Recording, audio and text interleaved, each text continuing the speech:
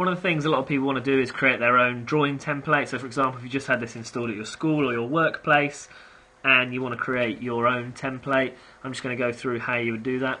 So the first thing we're going to do is we're going to open a existing template. So let's go into metric. I'm going to open the ISO one. Now in here, this is your standard ISO drawing board, ISO drawing board, and there's a few things that are preset. I'm going to go through how to change them. So if you go into uh, manage and into your styles editor, this is got pretty much every possible option you can think of. So for example, if you go into the default standard in here, you'll notice that if you go to view preferences, you can change things like the way a thread is displayed on drawings and the thread edge display, all that sort of stuff. In here you can see projection. At the moment it's set to first angle. We of course want third angle. So I'm going to change that one in there. You can change all sorts of other things in here as well. So you can change, for example, the hatch pattern and things like that. But when you're happy with that, you just press done uh, and save the edits, yes. Now, if you wanted to say, for example, make sure that all of your drawings started as an A4, you can go into edit sheet and change that to A4. You can also change the orientation where the title block is, if it's portrait, I'm going to leave it A3 and I, I prefer having my title block in the bottom right so I'm just going to hit OK. So what we need to do is we need to add a couple of logos to this and I'm going to add the third angle projection symbol as well. So if you right click on this ISO here, if you edit the definition it basically edits this block down here uh, and as you can see there's a bunch of stuff in here. If something's got brackets around it, it means it's smart text so it's pulled from somewhere else. So I'm just going to go through and I'm going to change some things, add a couple of pictures, that sort of thing. So I'm going to go into here. Uh, I don't want the checked by, but what I would like actually is the mass. So if I right click on check by, I can edit the text. This is the same as any other sort of application, so you can just change it. You can change the text, bold, underline, size, all that sort of thing. So I'm going to change this to mass. And this checked by is actually smart text. I'm going to edit that as well. You can see it's grey and it's got these brackets or parentheses around it so you know that it's smart text. I'm going to delete that. In here you can take the physical properties from the model or you can take all of this other stuff here. Prompted entry means it asks you for it when you open the drawing. Uh, so for example you could use scale as a prompted entry. So if you knew the scale of something you're going to draw it would come up with a box at the start and say excuse me you need to put a scale in. I'm going to use physical properties as the model and we want to use the mass and we can change the precision of it in there. So I'm just going to change that to two decimal points. And then if you push this button it adds the text so you can now see it's going to look for the smart text of the mass. Okay. And the approved by I don't want that in there so I'm going to delete the date for example and this one in here uh, and let's change that one to scale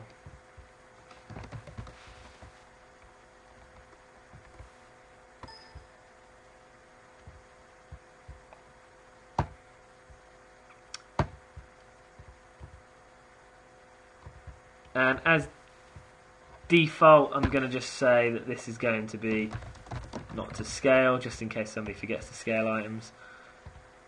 And then I'm just going to move this line in here and reduce this one to 25, same as the rest of them. So I added 15 to that, didn't I?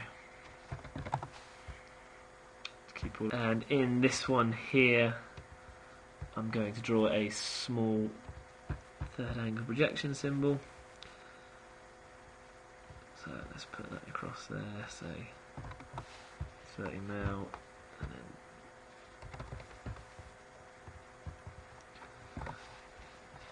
uh, I'm going to change the properties of this line. I'm just going to change it to dash dot, so it's a center line. Change the colour of that to red. So just so you can see, you can do all sorts of things in here. Uh, and then going to draw a circle of course. Say about there. Three mil. Draw another circle there. Seven mil. Now I'm just going to draw in the rest of this. So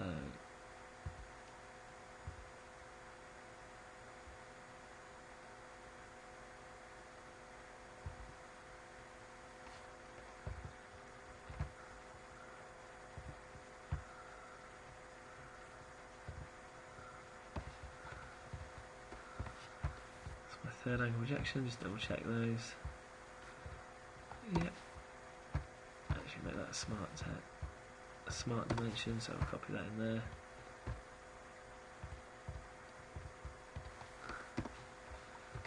So yeah, let's just put, uh, just put a dimension. I should make it 10 mil.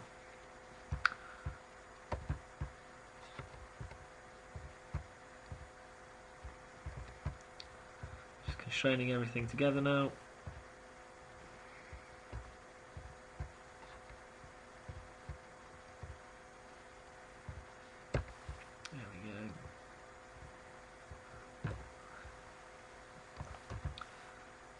Again, you can see in the bottom right hand corner we've got five dimensions needed, so let's just change to 10 as well.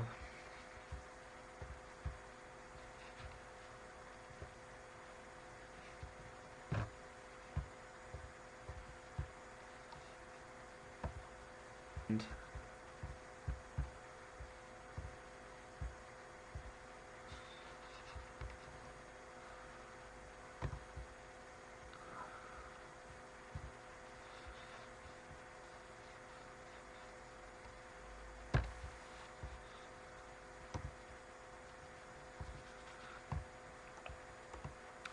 So I'm going to delete this one in here, and this one we're going to put our couple of our logos. So let's just see what we got um, dimension wise.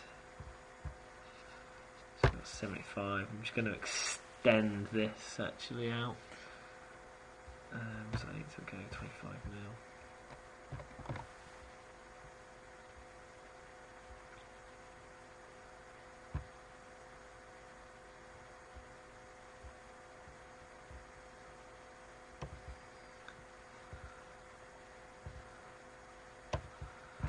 And just insert image.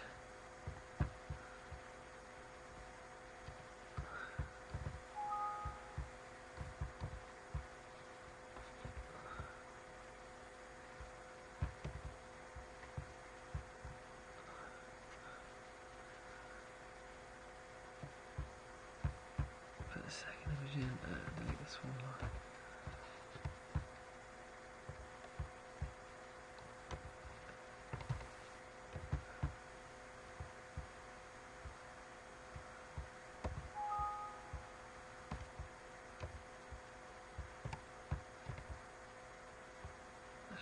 Put that down there.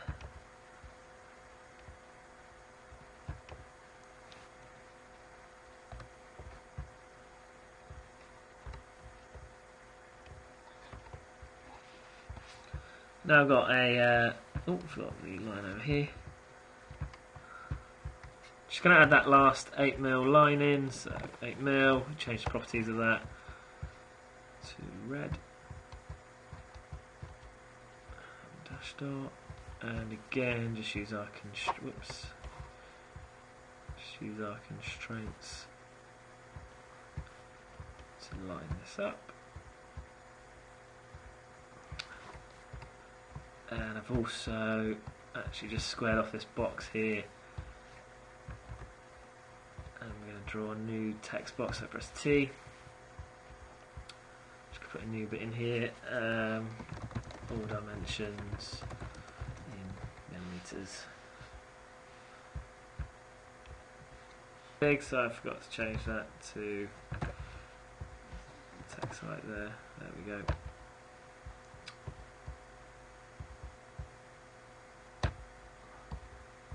And make sure it's all constrained in, and also I've just got to put a dimension in that direction. Finish sketch. Save edits, yes please. so you can now see that our drawing border is complete. And the other thing you can do on here, Styles Editor, like we did earlier with the view preference, what you can actually do is if you go into layers, you can actually change all of the things like the centre mark and the centre line, I'm going to change them to be red. And I'm also going to change, let's say, hatch to be like a purpley colour and we're going to change hidden lines be like this sort of colour here. And this way it's just easy to determine what it is on each of your drawings and let's say um, change dimensions to blue. Just so you can differentiate between all the different types of lines on your drawing. And hit done. So when you're happy with your template then you can go in and save it where the template's saved. If you don't know where that is if you go to new you've got the file extension just here. So we're going to go to save as and again that file extension we're going to go to that one. Again.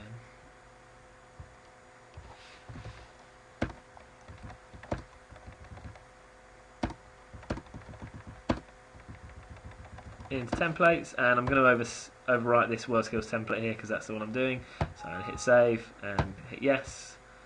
Yes that was just saying it's not in the project you're working on so now you can see the WorldSkills template now I've saved it that the title has come in down there.